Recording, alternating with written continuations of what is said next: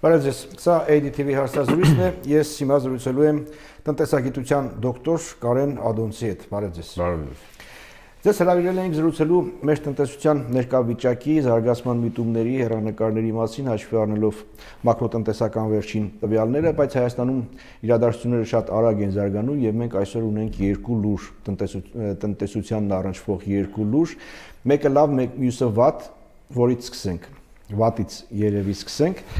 Խոսքը Սյունիքի մարզում առավոտից ստեղծված արտակարգ իրավիճակի մասին է, այստեղ աղտոտված ջրերը Պոչամբարից հոսել են ողջի կետ։ Այս համատեքստում հանքարդյունաբերությանն առնչվող 1-2 հարց։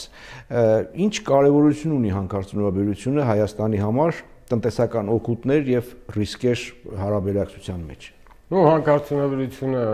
ունի նշանակություն, ну խոսենք պղնձի մասին նախ եւ առաջ, որովհետեւ հիմնական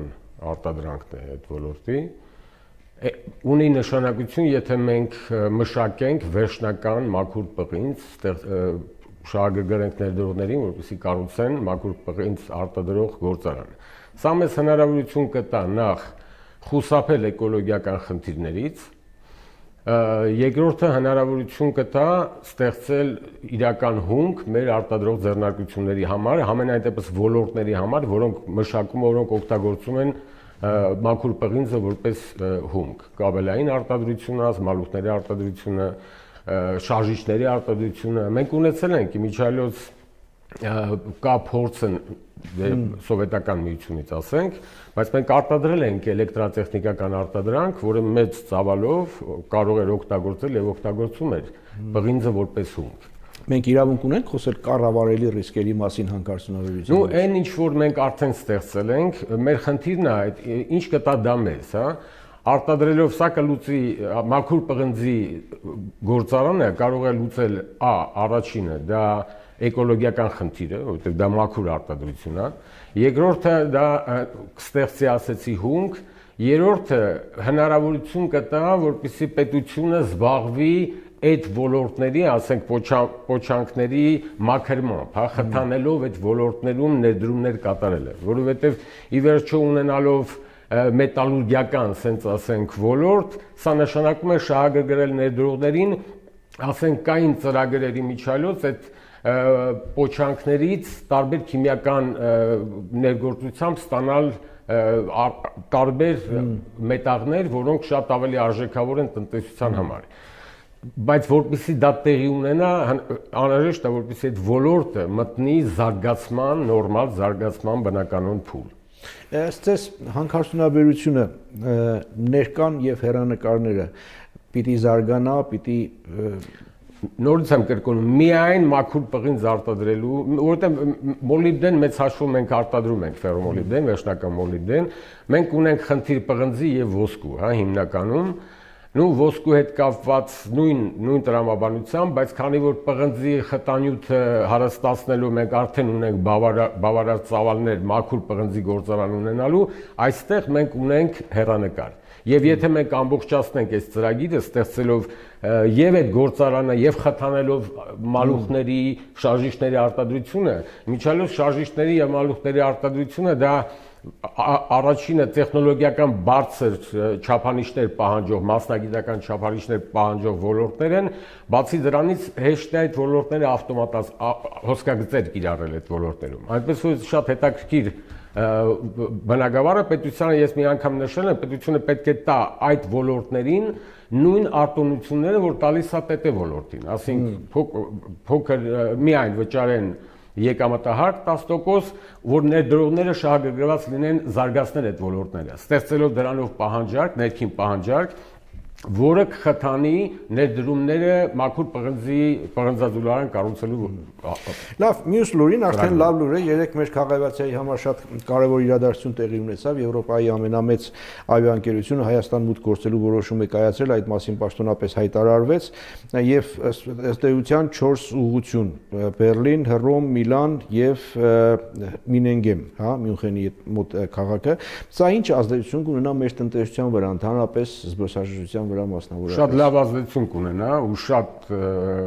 հետաքրքիր մուտք մուտքա դեպի հայկական շուկա, որի մասին խոսվել էր, որի ուղությամբ աշխատանք էր տանում քաղաքացիի համապատասխան մարմինը ու ես կարծում եմ դա կնպաստի туриզմի զարգացմանը։ Դա ուղղակի լավ լուր է, որը Այսպեսի մի տեղեկություն կար, որ Երևանը ընդգրկվել է 2020 թվականի աշխարհի ամենաակտիվ տուրիստական ուղղությունների top 10-յակում։ Սա նշանակում է, որ 20 թվականին մեր զբոսաշրջության երկնիշ աճը շարունակվելու է, ինչը հնարավորություններ է բացում փոքր, միջին, նաև խոշոր բիզնեսի համար։ Նու խոսում են նույնիսկ երկնիշ զբոսաշրջության երկնիշ աճի մասին։ Տեսեք, դա ընդհանրապես եկեք բաժանենք, հա, ասենք այսօրվա քաղաքականությունը, որը տարվում է, Համարենք այդ քաղաքականությունը, ասենք, ատարբերակ, հա, մեր համար։ Այսինքն մենք ինչ ենք անում, հա, կառավարությունը ինչով է զբաղված։ Կառավարությունը խթանում է туриզմը, բարձր տեխնոլոգիա, ՏՏ ոլորտը, բարձր տեխնոլոգիաներով հագեցած գյուղատնտեսությունն ու վերամշակող ոլորտը ու հիմնականում սա է։ Ու բնականա туриզմը, հա։ Սա իհարկե կտա մեծ հնարավորություն զարգանալու, հա, ուշակի հավասարակշռելու, կառուցելու, ենթակ վերանորոգելու եւ կառուցելու նոր ենթակառուցվածքներ եւ այլն։ Դա կապահովի մեծ որոշակի զարգացում։ Բայց էական առաջընթաց ունենալու համար մեզ պետք է արդյունաբերություն։ Առանց դրա մեր հնարավորությունները խիստ սահմանապատ են։ Ես հասկանում եմ, որ այս քաղաքականությունը, որը իրականացվում է, դա մաչելի հեշտ քաղաքականություն է, որը ունենք մենք տուրիստական հնարավորություն, այդ պոտենցիալը կա, ՏՏ ոլորտի հետ կապված մենք ունենք որոշակի պոտենցիալ, գյուղատնտեսության հետ կապված կան նախադրյալներ վերամշակող ոլորտի զարգացման, բայց սա པարզ է, սա ունի որոշակի սահման սահմաններ, հա, օրինակ, ես վերցնեմ ես նշել եմ մի անգամ ՏՏ ոլորտը ունենալու է խնդիրներ կապված ոլորտային մասնագիտացման հետ։ Ինչ է նշանակում ոլորտային Այսինքն պատկերացրեք, այսօր համաշխարհային շուկայում տեղի ունենում ՏՏ ոլորտի մասնագետը պետք է լինի ինժեներ։ Այսինքն ավտոմոբիլների, ասենք, մոդելավորման համար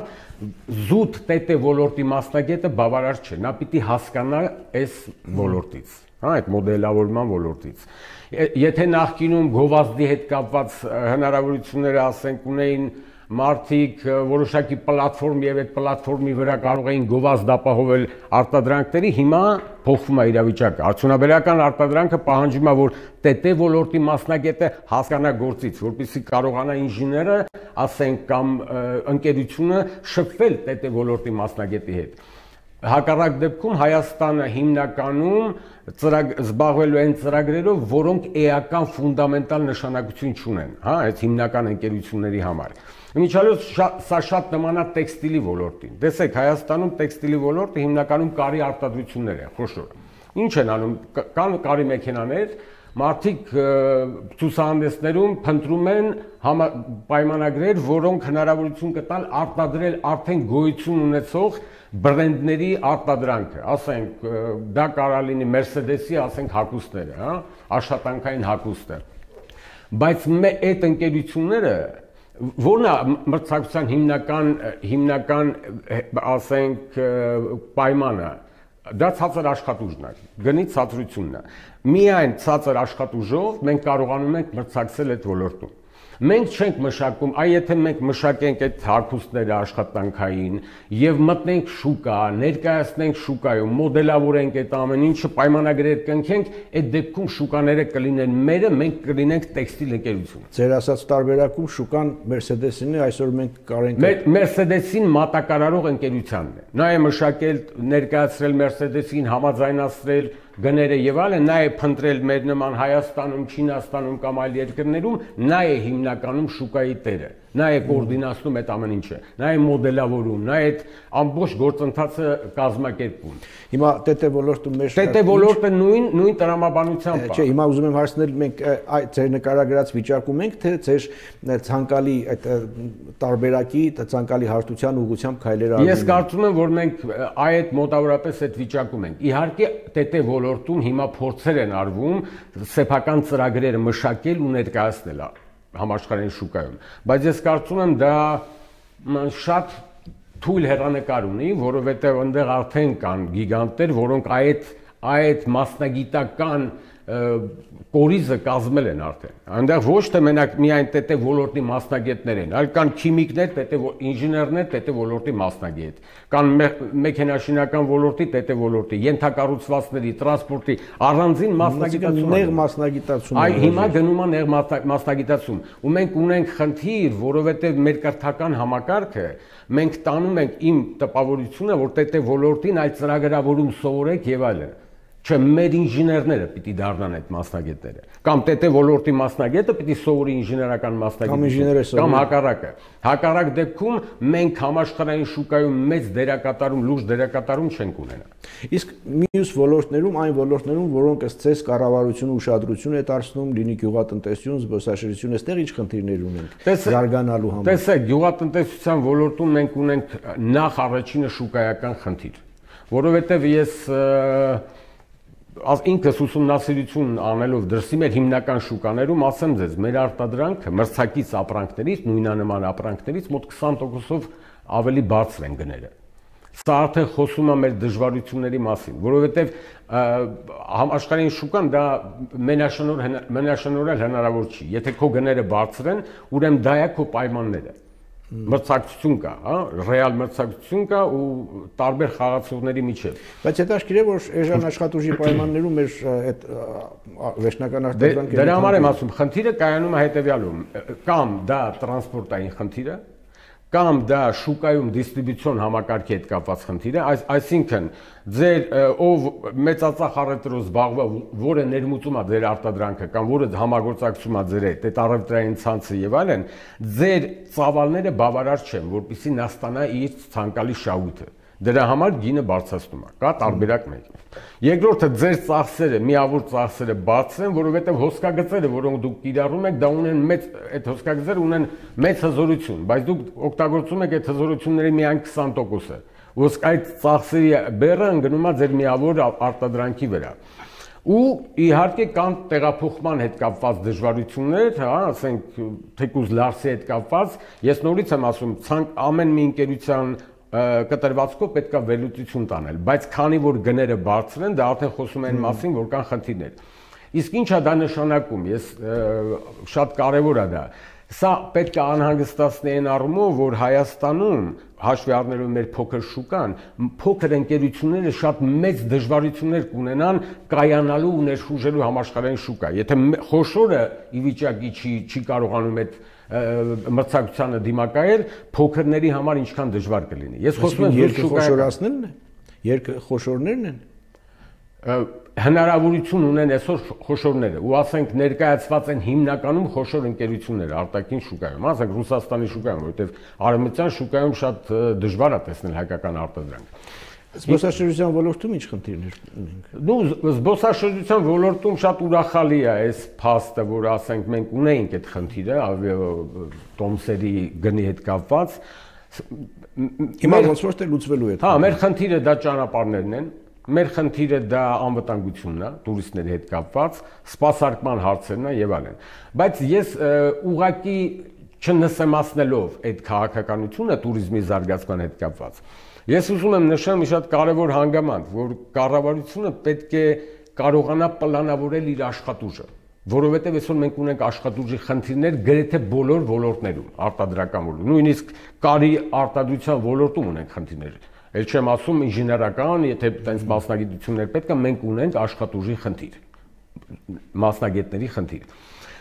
Շատ տեսեք, եթե մեր մոտ զարգանում է туриզմը մեծ թափով, մեր աշխատուժը վերաբաշխվում է դեպի այդ ոլորտները։ Դրանք հյուրանոցներ են, սպասարկման սպասարկման ոլորտներն են եւ այլն։ ՏՏ ոլորտի մասին մենք խոսեցինք, որ կան խնդիրներ։ Այսինքն գյուղատնտեսություն վերամշակման ոլորտը, որովհետև վերամշակման ոլորտը չի պահանջում նման մասնագիտացում, ես ուղղակի տեղյակ եմ, որովհետև աշխատել եմ այդ ոլորտներում, դա հոսքագծեր են ամեն հա, բոլոր հարցերը հոսքագծերը անում են։ Այսինքն ինտելեկտուալ միտքը հոսքագծի մեջ է։ Մնացածը, ասենք, զուտ, ապրանքին նախապատրաստման, հա, այդ հոսքագծին միացնելու հարցը։ Այսինքն մենք մեր աշխատուժը բաժանում ենք, ասենք, դեպի туриզմ, դեպի սպասարկման հյուրանոցներ, սպասարկման ոլորտ եւ այլն, յուղատնտեսություն վերամշակում, ասենք հանքարդյունաբերություն, որը կա դա ու պետե ոլորտ, որը մենք ասեցինք ինչ խնդիրներ կա, հա, որոշ չափով ընդամենը 20000 աշխատ աշխատուժ է ներգրավում պետե ոլորտը։ աշխատ, Տեսեք մեր աշխատուժը մենք ինչ ձևով բաշխեցինք։ Չկա որևէ ինժեներական, որևէ ասենք մասնագիտական վերելքի ոլորտ, որը կարողանա ապահովել։ Սա կարա բերի դեգրադացման։ Ես դրա համար եմ ասում, որ մեր գլխավոր խնդիրը արդյունաբերության զարգացումն է, որ մենք կարողանանք հավասարակշռված վիճակի բերենք մեր մասնագիտական, հա, աշխատանքային ներուժը։ Դուք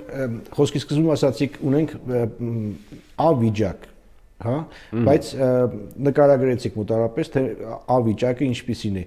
Բ վիճակն ինչ է ենթադրում ձեր ասած արդյունաբերությունը թե քաղաքականության Գիտեք ո՞ր, տեսեք, այս ա վիճակը լավ լավ առումով ասենք, հա, մեզ ինչ կբերի մեզ, դա կմաքրի մեր երկիրը, հա, կկառուցի երևի կվերակառուցի մեր ճանապարհները, նու միջին մակարդակի բայց ոչ զարգացում հա դա չի ապահովի մեզ կենսամակարդակի աճ ես մի անգամ նշել եմ մենք 115-րդ տեղում ենք նու գուցե բարձրանանք հանկարծ տենց անցնենք հասնենք 100 10-րդ տեղը կամ 105-րդ տեղը, բայց էական զարգացում մեր կենսամակարդակը մեկ շնչին ընկնող հնան 4000 է, հա, ասենք մենք խոսում ենք Սինգապուրի մասին կամ այլ երկրների մասին խոսք գնում է 30000, հա, Ռուսաստանի մասին 15000, Թուրքիայի մասին 15000։ Այսինքն մենք պետք է հասկանանք, որ մեր կենսամակարդակը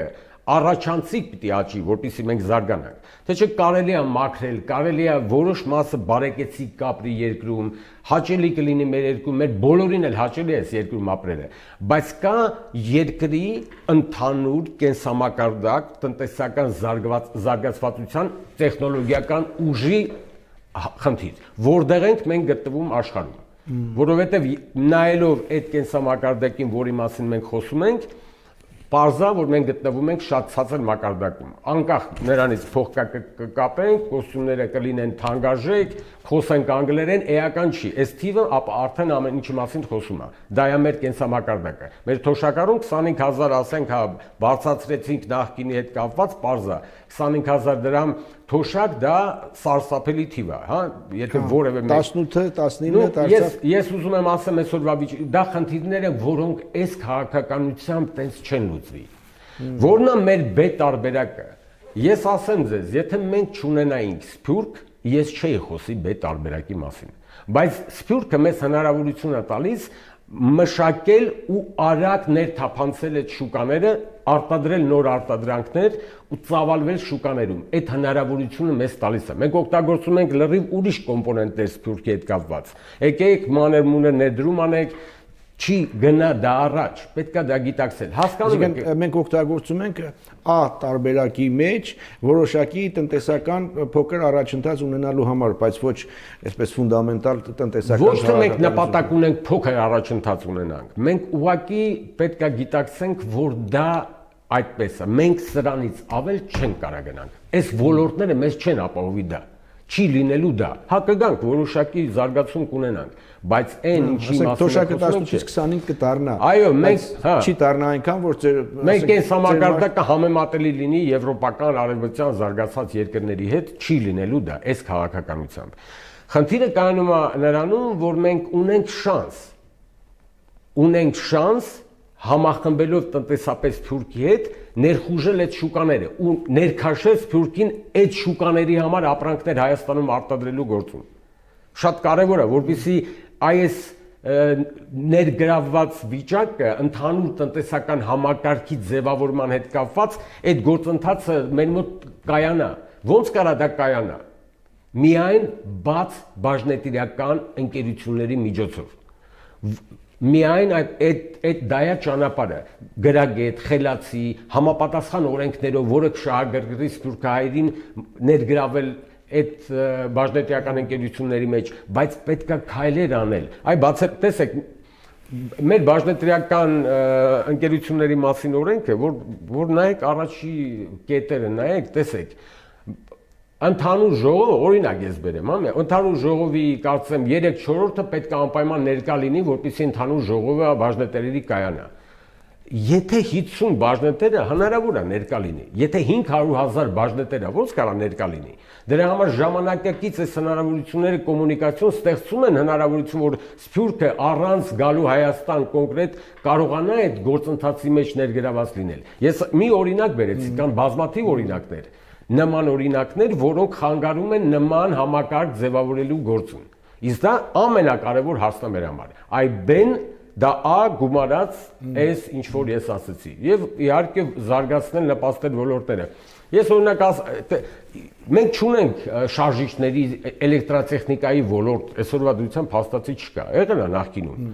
մենք ճունենք տենց զարգացած բարձր բարձրակարգ մալուխների արտադրություն Ինչի մենք չենք տալիս, քանի որ դա է ձևավորելու պահանջարկը մաքուր պղնձի համար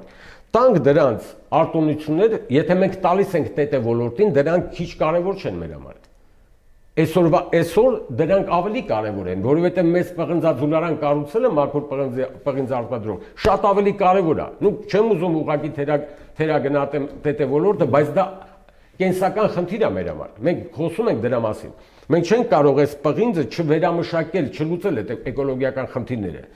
Եթե մենք լուծենք այդ խնդիրը, ապահովենք, տեսեք ինչ ոլորտներ մենք կարող ենք զարգացնել։ Եթե այդ ոլորտները շահագրգռված ներդրողները շահագրգռվածություն ունենան, ներդրում կանեն շարժիչների արտադրությամբ, այդ հոսքագծեր կբերեն կդնեն, դա հնարավոր է անել։ Ու դա կստեղծի պահանջարկ։ Այդ դեպքում մենք շատ հեշտությամբ խոսենք ներդրողների հետ, որ տեսեք, մենք այսքան պահանջարկ ունենք ներքին մաքուր պղնձի։ Մենք էլ կաջակցենք ձեզ, կառուցեք այդ պղնձաձուլարանը։ Մեկ հարցելու ավարտենք։ Հիմա մեր կառավարությունը տնտեսական ինչպիսի քաղաքականություն է վարում ձեր կարծիքով։ Այդ ակաղաքականությունը վարում է ակաղաքականությունը եւ մեր ունեցած տնտեսության, մեր ունեցած տնտեսության կառուցվածքի պայմաններում որոշակի ցուցանիշներ ապահովելու, թե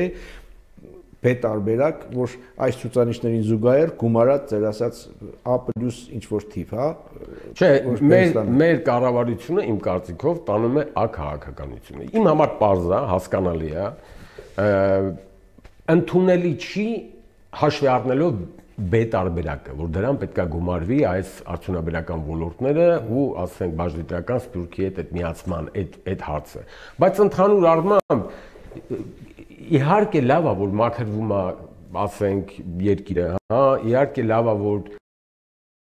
մարդիկ ավելի հանգիստ են, շինարարությունը որոշակի ակտիվություն ունի, туриզմը զարգանում է, այդ ամեն ինչը շատ լավ է, բայց մենք պետք է հասկանանք, այս քաղաքականությունը ունի սահման։ Դա ես չեմ ասում, դա ոլորտների հետ կապված է։ Այդ ոլորտները չունեն այդ պոտենցիալը։ Եվ նույնիսկ այս ոլորտների զարգացման միջև վերջին հնարավոր խազը զարգացման պարագայում մեր սոցիալ-տնտեսական վիճակը, կենսամակարդակը այդ 100-ական տեղերից չի բարձրանա միջև։ Դանդաղ, դե տեսեք, մենք բյուջեի հետ կապված ինչ տնտեսական աճ ենք դրել։ Հա 4.9, հա 5%-ի չափով։ Մենք դրել ենք դա։ Մենք արդեն մենք արդեն գիտակցում ենք դա դա մենք արդեն գիտակցում ենք, որ դա տենց է։ Թե չէ կդնեինք ավելի ռիսկային, չէ՞, 10 10 15%։ Չէ, մենք գիտակցում ենք, որ կա սահմանափակումներ ու բազմաթիվ սահմանափակումներ։ Մեր խնդիրը, որpիսի ոչ թե ասենք այս ա տարբերակը ճիշտ տարբերակ չի, չէ, դրան պետքա գումարել։ Վերցրեք ցանկացած ամենախոշոր տուրիստական երկրները՝ Ֆրանսիան, Անգլիան, բոլոր արդյունաբերական երկրներ են Բոլորը։ Դուք պատկերացրեք, եթե B տարբերակով սկսեց զարգանալ, туриզմը կրկնակի անգամ է սկսելու ավելի արագ զարգանալ։ Երկիրը հեղինակություն է ձեռք բերելու։ Շատ կարևոր է, որովհետև եթե դուք չունեք հեղինակություն, հուս, հուսալի արդյունաբերական արտադրանք արտադրել, արտահանել շատ դժվար է լինելու։ Այսինքն, եթե այս նույնիսկ մակրոտնտեսական թվերը շատ լավն են, շատ լավ է որ շատ լավն են ենթադրենք լավն են բայց դրանք էական այսպես հեղափոխական զարգացում չեն կարող ապահովել սա էլ ու ավարտենք այո այո շնորհակալ եմ խնդրեմ Սա ADTV հարցազրույցներ, ես զրուցում եի տնտեսագիտության դոկտոր Կարեն Ադոնցի հետ, հետևեք մեզ Armdeli.am կայքում, բաժանորդագրվեք մեր Facebook-յան էջին եւ YouTube-յան ալիքին։ Լավ մնացեք, կհանդիպենք։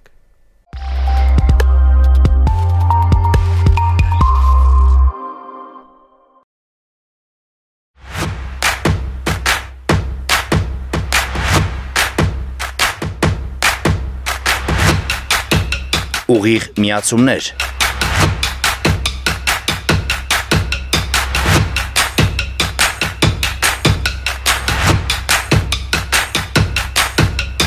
Անաչար տեղեկատվություն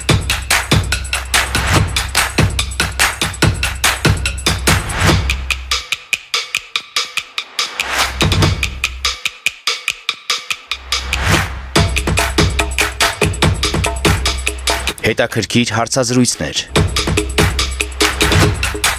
Խնդիրներ եւ բարձաբանումներ։